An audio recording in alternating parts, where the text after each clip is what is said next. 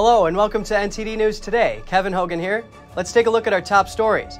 Pandemic advisor Dr. Fauci predicts we'll see more vaccine mandates soon once the FDA approves the vaccines. But the man who invented mRNA vaccine technology warns that mandates could actually cause more harm than good. A top aide to New York Governor Andrew Cuomo resigns. That's while a sheriff discusses a groping complaint against him by one of his accusers who speaks out publicly for the first time. California's Dixie Fire becomes the second largest wildfire in the state's history. The fire is now 21% contained. Only the complex fire from last year was larger. The U.S. Embassy in Afghanistan is urging all Americans to get out of the country immediately as U.S. forces get set to withdraw and the Taliban takes over several regional capitals. The embassy says their resources to help Americans are limited because of the circumstances.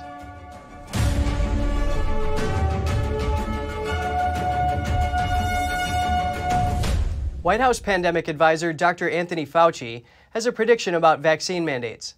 Although he says we won't see a federal mandate, he thinks there will be a flood of them at the local level once the FDA approves the vaccines. It comes as the Delta variant causes virus cases to surge in the United States. NTD's Jessica Beatty has more. Dr. Anthony Fauci told NBC over the weekend he hopes the FDA will approve the CCP virus vaccines in the next few weeks. If that's the case, you're, you're going to see the empowerment of local enterprises giving mandates. That could be colleges, universities, places of business, a whole variety. And I strongly support that. Fauci told USA Today he thinks there will be a flood of vaccine mandates after the FDA approves the vaccines. Right now, they're still under emergency use. The U.S. Air Force Chief of Staff says he thinks the Pentagon will eventually mandate it. Encouraging our, our members to get vaccinated, uh, expecting that they, uh, uh, you know, at some point it'll be mandated, just like we do just a normal flu shot. The second largest teachers union wants to mandate it for teachers too. And President Biden recently approved rules requiring federal workers to provide proof of vaccination or face regular testing, mask mandates, and travel restrictions. But not everyone agrees with a push for vaccine mandates, including the man who invented mRNA vaccine technology. Dr. Robert Malone argues in an article published in the Washington Times that vaccine mandates will likely prolong the most dangerous phase of the pandemic and cause more harm than good.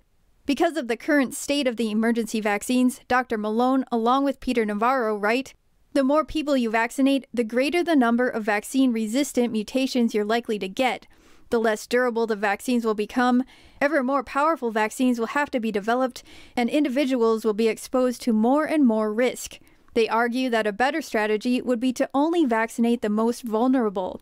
And for most other people, they argue there's nothing to fear, especially if they have access to a growing number of other scientifically supported treatments. We reached out to the White House and Dr. Fauci's agency for comment, but didn't immediately hear back. Jessica Beatty, NTD News. A top aide to New York Governor Andrew Cuomo, Melissa DeRosa, has resigned following the state's Attorney General's report. She says the past two years have been emotionally and mentally trying for her. In her statement, DeRosa said it was her greatest honor to serve New Yorkers for the last decade. Her resignation is a significant loss for Cuomo's administration. She's been considered his most trusted advisor, and she took the national spotlight sitting next to him during his virus briefings. This while aide Brittany Commisso says Cuomo groped her breast at the governor's state residence and explains why she didn't speak out at the time. I didn't say anything this whole time. People don't understand that this is the governor of the state of New York. There are troopers that are outside of the mansion, and there are some mansion staff. Those troopers that are there, they are not there to protect me. They are there to protect him. The Albany County Sheriff talks about a criminal complaint Commisso made against Cuomo. I cannot get into the nature of um, her specific allegations. At this time, obviously, we're in the very infant stages of this investigation. We have a lot of fact finding to do, we have interviews to conduct, and it would be totally premature for me to comment on any of that. This is the first official report with law enforcement concerning Cuomo's alleged misconduct. According to the sheriff's office, Cuomo could be arrested if the DA determines he committed a crime. Cuomo has denied touching Commisso's breast, saying he would have had to lose his mind to do such a thing. All the while, records show that she was in the governor's mansion on November 16th. Yet, in his defense, Cuomo's lawyer said the aide made the story up and pointed to phone and email logs to claim that Cuomo was surrounded by top aides that day, suggesting Commisso's story doesn't add up. That is the only date that they identified in November. And she has said repeatedly this happened in November, and they drew that conclusion. And I'm just telling you to say blaming the victim for the governor to deny what she has claimed is not victim blaming. The sheriff said he has reached out to New York's Attorney General requesting investigative material to help them move forward. The New York Assembly's Judiciary Committee announced after a meeting that they are considering whether to impeach Cuomo. About two thirds of the state assembly have said they would vote to impeach if the governor won't resign. A simple majority vote is all that's needed. The Senate voted to advance the $1 trillion infrastructure package Saturday. It's an important procedural step forward after months of negotiations between President Biden and a bipartisan group of senators.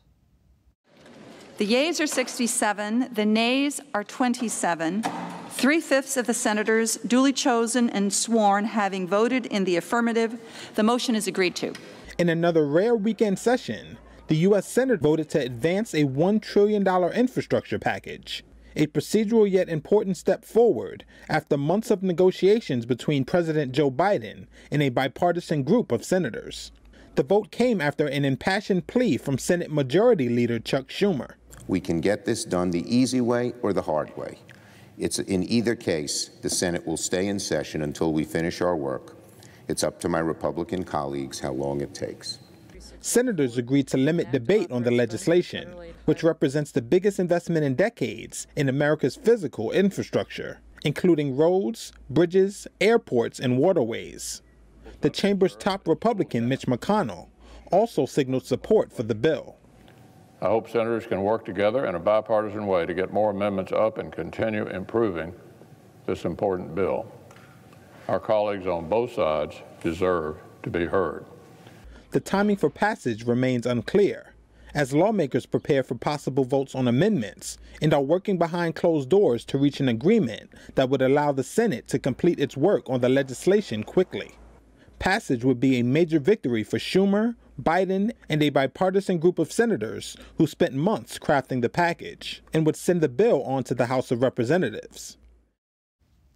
The $1.2 trillion bipartisan infrastructure bill passed a final hurdle in the Senate Sunday night. On a final vote of 68 to 29, the Senate invoked cloture, a legislative procedure which effectively ends debate on the bill. That means the vote for final passage will come after the 30 hour post cloture time expires, which would be just after 3 a.m. Tuesday. To avoid the risk of filibuster, Democrats needed at least 10 Republican votes.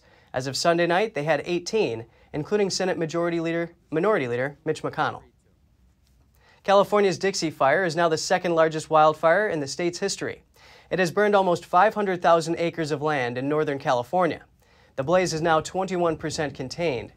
It's second only to the complex fire from August 2020.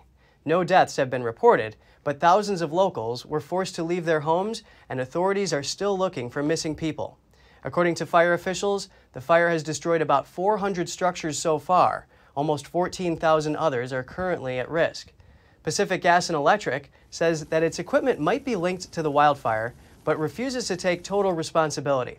A judge ordered the utility company to submit a drone surveillance and description of conditions and vegetation in the area and its possible involvement in triggering a fire that merged into the Dixie Fire. Immigration and Customs Enforcement says it found this underground tunnel running from beneath a home in Mexico to California. It's 183 feet long and has electricity, ventilation, a rail system, and a hoist. What it doesn't have is an exit. It extends three feet into U.S. territory, but it's 20 feet underground with no way out on the, in, the U.S. side. ICE says investigators believe drug traffickers had been using the tunnel. Homeland Security has a task force dedicated to investigating such tunnels. The U.S. Embassy in Afghanistan issued an alert urging all Americans to leave the country immediately amidst escalating violence. They say that given the situation, their ability to help American citizens is extremely limited. The U.S. Embassy in Afghanistan issued a security alert Saturday, telling all Americans to leave Afghanistan immediately. It says that Americans should seek available commercial flights and not rely on the government to get them out. The embassy says that with the reduced staff and escalating violence, their ability to help Americans is extremely limited, and they'll loan money to citizens that can't afford a plane ticket out.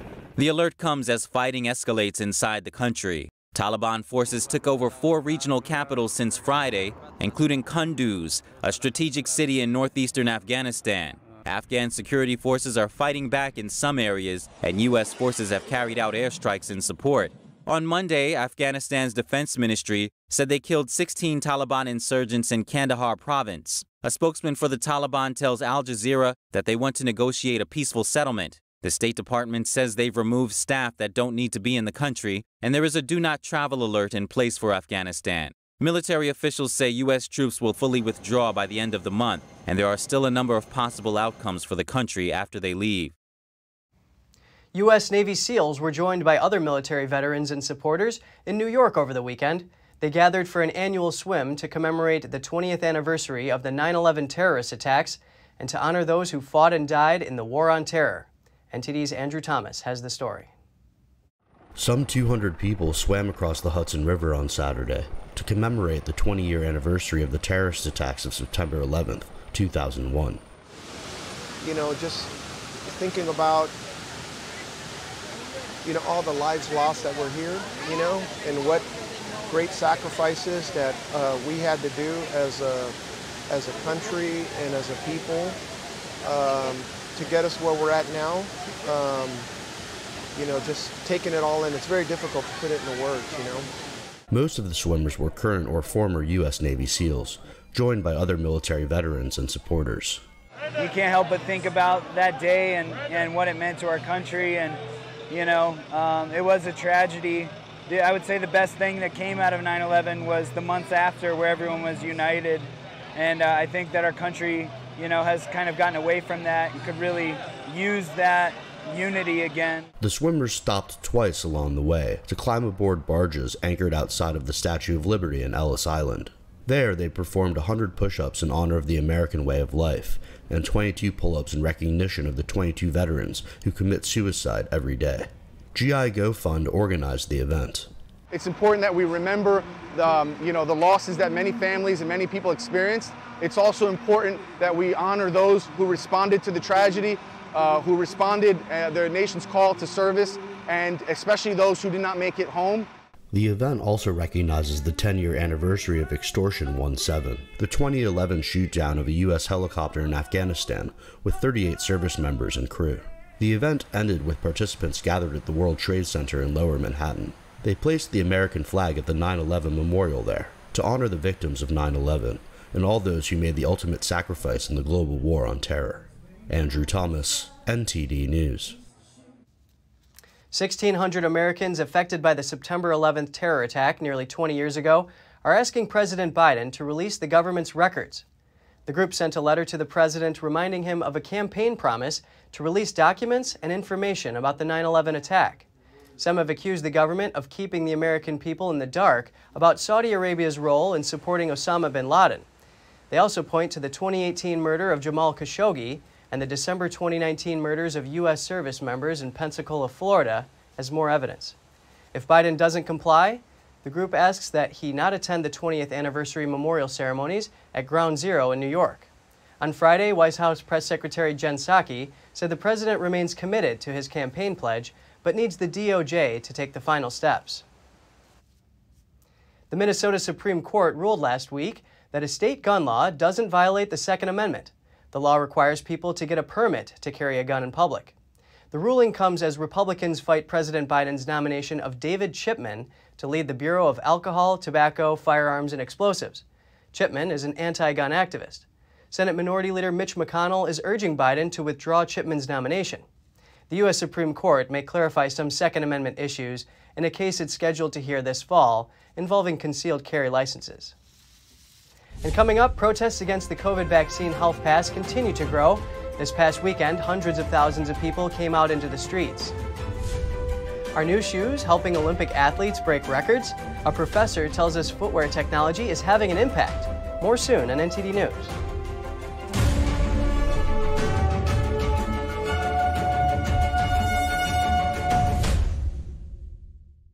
If you're like most of us, You're probably getting fed up with the nonsense that's going on in the banking system. Did you know that top U.S. banks have recently amended their depositor terms and conditions to include the words bank failure and what's required of you in 24 hours if, or should I say when, it happens? Don't get blindsided by your bank. Call GSI Exchange today to pick up your complimentary copy of the Bank Failure Survival Guide at 866 424 2382. We'll also send you the required format to file with your bank within 24 hours of their failure, which is now required by the top banks to avoid freezing of your funds. Yes, the top banks can now freeze your money. The world is in a strange place, and banks are constantly changing the rules. So stay on top of the current events that really matter by calling GSI Exchange and requesting your free guide at 866 424 2382. Sekur, the true solution for your digital privacy and security. Sekur is a private and secure messaging and email solution hosted in Switzerland using military grade encryption and Swiss privacy laws, giving you true privacy. Sekur is 100% private and does not collect or sell any of your personal data. Sekur's Helix technology connects you securely to our Swiss servers without the need of a VPN, guaranteeing privacy and security for all your communications. Sekur Messenger doesn't require your phone number or any personal data that hackers target. Chat by Invites allows you to chat privately and securely with anyone outside of your secure network without the need for others to download Sekur. Sekur Send offers you a private and secure way to email anyone outside of Sekur. You won't find this level of privacy or security on any other email or instant messaging application. Visit sekur.com. Regain and protect your privacy today.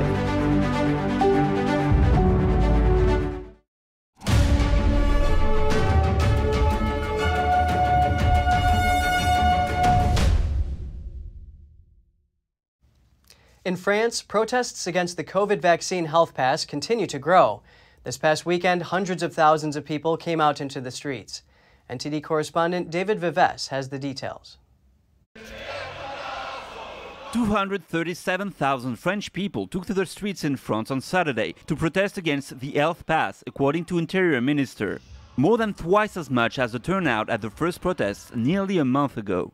The health pass is a certificate that proves you're vaccinated or that you had a negative COVID test less than 48 hours before. It's now required as of Monday to enter bars, restaurants, trains, hospitals and other public venues. This pharmacy worker says she's concerned about health risks from the vaccine. She says protesting the health pass is really a fight for life. We're being pushed to get injection. This is a matter of life. And as time goes on, they want to vaccine younger children. We have many doubts toward our government, the way it managed the crisis. There is no trust. The protests were largely peaceful with little violence toward the police. The protest seems to have no leaders, but rather to be a spontaneous grassroots movement. This police union spokesman says the government is using policemen to check people's compliance with the health pass. Now we'll have people who are considered lesser citizens. This is lamentable. Most of my colleagues are disgusted. They will now control the people's health pass in restaurants, rather than doing their jobs arresting bad people. What happens if someone doesn't have a pass? We are told by the new law to arrest the restaurant owner. That's incredible. In South France, the protests have increased over the recent weeks. In the city of Nice, the number of demonstrators may be four times higher than last week, according to local media. We're, we're absolutely aware of uh, what is happening in the world, that France is going towards a, a very, uh, a very dangerous path. We really see a lot of people here. This is now or never. We have to mobilize. Meanwhile, France's health minister said 45 million people have been vaccinated for COVID and that this kind of mobilization saves lives. The anti-pass protests look likely to continue, with more scheduled for next Saturday. David Vives, NTD News, Paris. Video released by military police in Italy captured an arsonist in the middle of starting a fire. The incident was caught on hidden camera in the countryside near Montesarchio, a town some 30 miles from Naples.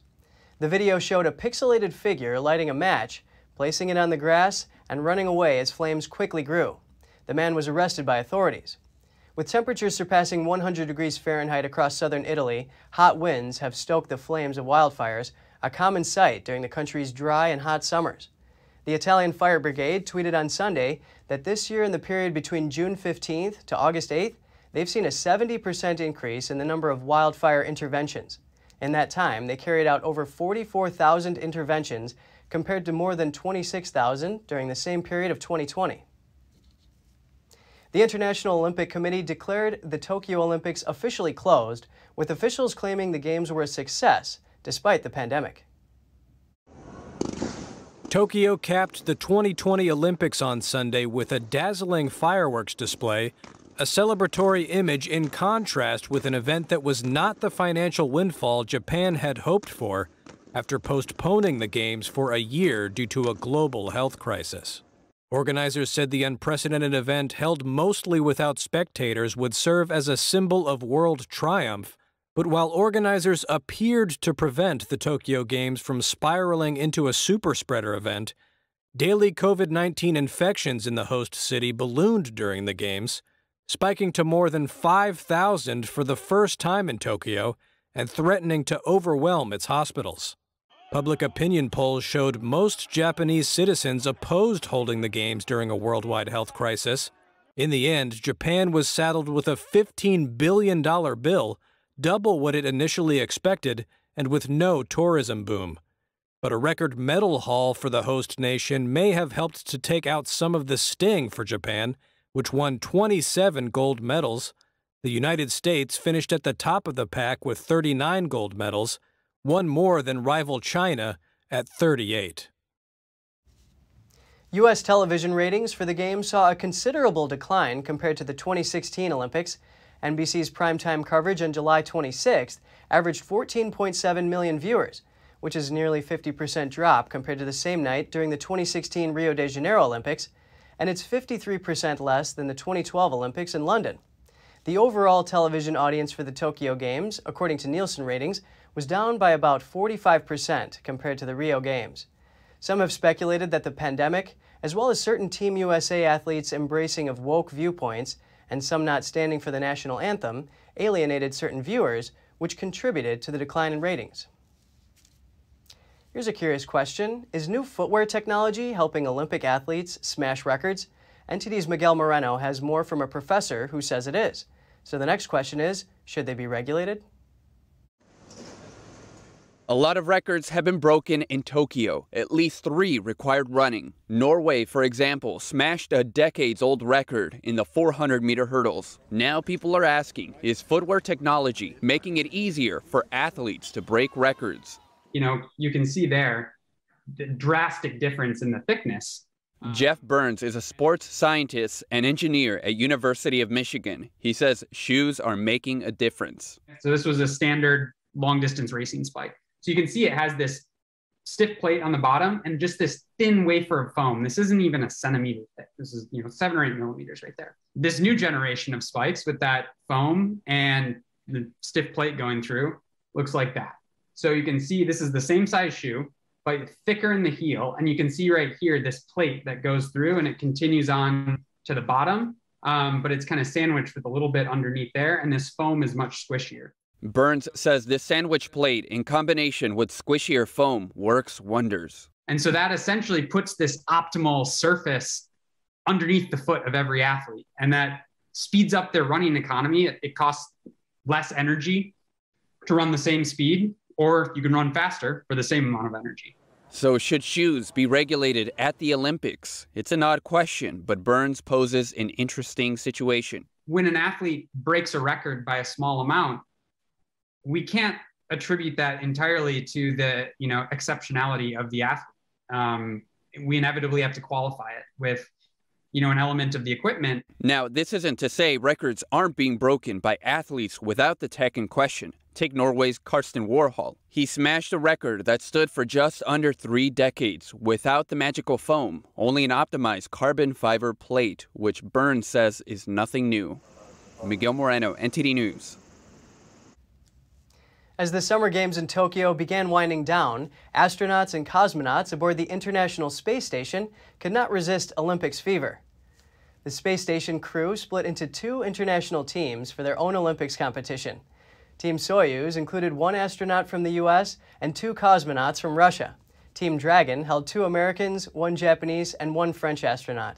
They got inspiration for their team names from what their spacecrafts are called. The athletes competed in zero gravity events.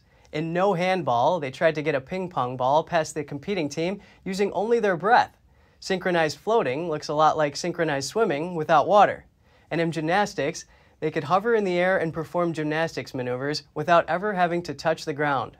NASA did not report if any medals were awarded. Thanks for watching. At NTD, we're honored to be your source for the news. Catch us again tonight at 6.30 Eastern. In New York City, I'm Kevin Hogan.